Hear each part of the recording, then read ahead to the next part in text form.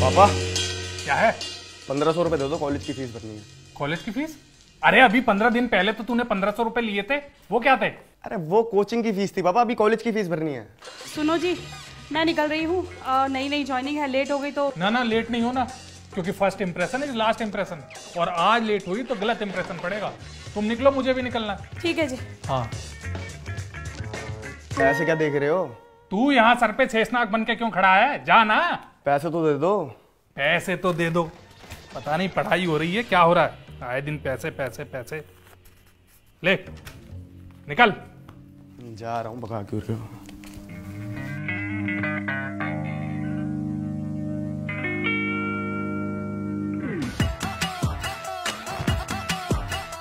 hello miss Mini hello sir तो कोई नया स्टॉक आया है या फिर वही पुरानी वाली से ही मसाज करवानी पड़ेगी?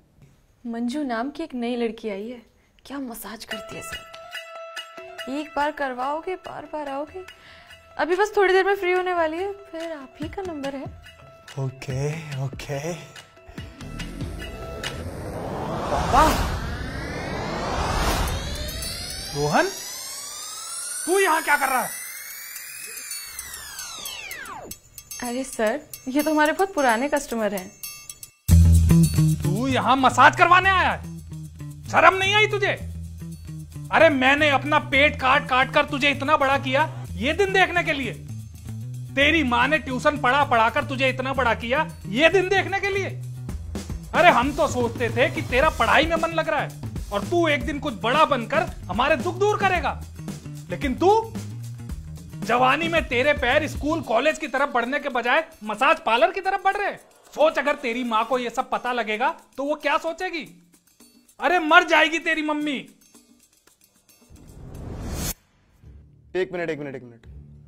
पापा आपने मुझे इतना लंबा लेक्चर सुना दिया। ये सवाल मैं आपसे भी तो पूछ सकता हूँ कि आप यहाँ पर क्या कर रहे हो? आपकी तरह ये सर भी हमारे बहुत पुराने कस्टमर हैं। और आप जैसे लोगों की वजह से तो हमारा मसाज पार्लर इतना चलता है। और इसीलिए हमने तीन न्यू हायरिंग्स भी करी है, सर। वाह, पापा। मैं तो समझता था कि आप बहुत समझदार और बहुत होनहार बाप होंगे। आपके अंदर इतनी ठरक भरी हुई है, पापा। ये मुझे नहीं पता था। पापा, मैं तो जवान हूँ, मेरा चलता है। लेकिन पापा, आपको शोभा नहीं देता ये सब इस उम्र में। और आप क्या मम्मी मम्मी क्या कर रहे हो आप? अब ये बात मम्मी को पता लगेगी तो उन्हें कैसा लगेगा? आपने सोचा कभी? रोहन सुन। खबरदार जो अपनी माँ को इसके बारे में कुछ बताया तो समझा? धमकी दे रहे हो? ठीक है ठीक है सुन। रोहन यहाँ जो कुछ हुआ ना तू किसी से कुछ कहेगा और ना ही मैं। ठीक? भूल जाते हैं हैं? लिल्ली यार कैसा मोटी चमड़ी का कस्टमर भेज दिया तूने? मसाज कर करके मेरे हाथ टूट गए और वो है कि सेटिस्फाइड ही नहीं हो रहा। पुष्पा? मम्मी? ये हमारे मसाज पार्लर की न्यू ज्वाइनिंग है, सर। एक बार इनसे मसाज करवा के देखिए।